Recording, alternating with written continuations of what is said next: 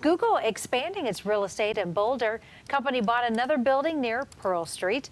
Reve Boulder is a mixed-use development at 30th and Pearl. It'll soon be turned into an extension of Google's nearby campus. Google has been in Boulder since 2006, says it is excited that it's growing here. We can